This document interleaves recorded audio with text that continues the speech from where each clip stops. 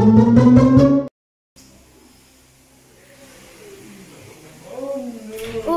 si Diego yun ah. Bakit kaya sumpakol yung mukha nito? Kaya naman pala eh, magkaiba yung medyas eh.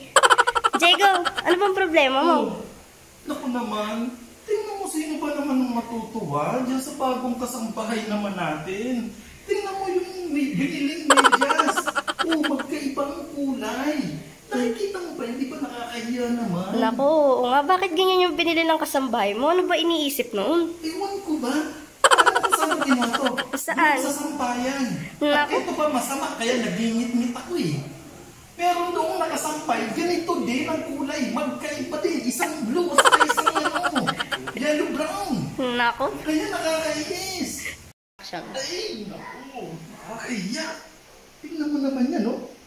Di ba kitang-kita mo yan? Diyos ko naman. Magkaiba kulay. Nakakapanlumo. Eh, Diego, ano ka ba naman? Ikaw yung may problema eh. Di ba sabi mo mayroong dalawa pang medyas doon na ganyan din ang kulay? Oo. Eh, di dapat pagparesi mo yung dalawa magkakulay para tapos ang problema mo.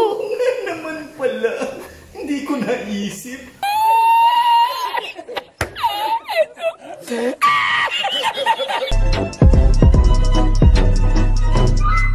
Please like, share, and subscribe.